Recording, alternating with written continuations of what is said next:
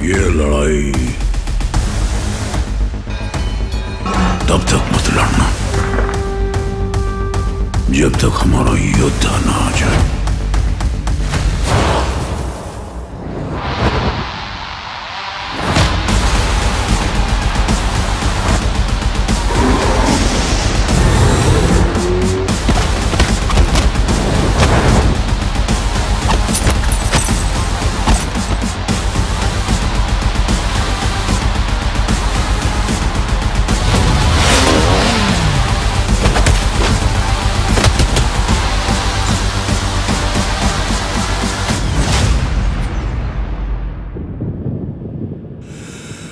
जब अपनों पर बात आती है तब अपन की हट जाती है।